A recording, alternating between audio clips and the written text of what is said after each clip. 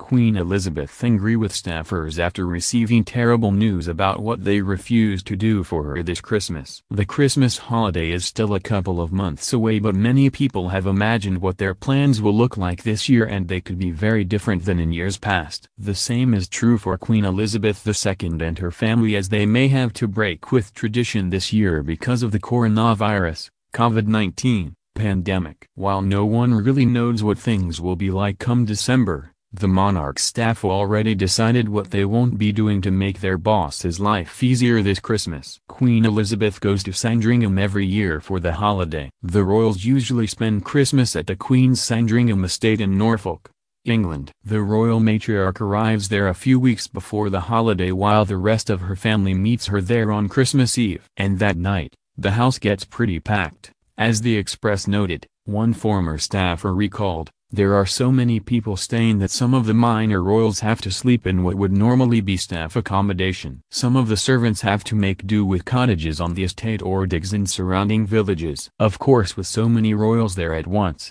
there needs to be several household staffers there as well to keep everything running smoothly. This year, however, one request has led staff members to protest. What staffers there refused to do for the Queen this year? Backroom Sandringham employees were asked to support the monarch over the Christmas period, but they refused. According to Daily Mail, about 20 employees including cleaners, laundry, and maintenance workers were asked to remain at the Norfolk property during the holiday to create a COVID bubble to keep the Queen, Prince Philip, and other royals safe. However, the staff would not agree to stay there for a month away from their families, and their boss wasn't happy to hear that. The Queen is furious, a source told The Sun. The staff said enough is enough. It is absolutely unprecedented. Everybody wants to stay loyal but they feel they've been pushed too far by being made to isolate from their families for Christmas. Discussions are taking place with the team on operational matters but it is too early to speculate on implications for Christmas. Where the Queen may have to spend the holiday instead. The monarch had been staying at Windsor Castle since March. This summer she and Philip went to Balmoral Castle in Scotland for their